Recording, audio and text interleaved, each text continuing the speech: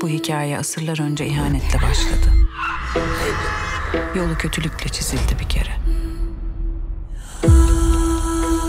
Sen sakın sevme beni ey insan. Bundan binlerce yıl evvel böyle söyledi yılanların şahı. Ama insan dinlemedi.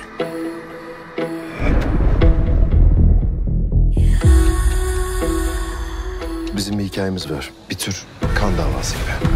Sülaleden kalma. Karanlık yaklaşıyor Maral. Bu savaşın bir galibi olmayacak Tamar.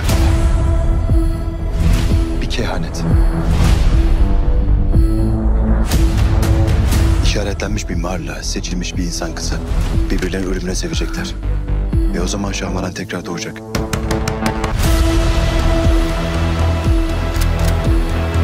O kadar uzun süredir bekliyorum kızı. Efsane bunlar masal. Ben de öyle düşünüyordum. Ama bu gerçek.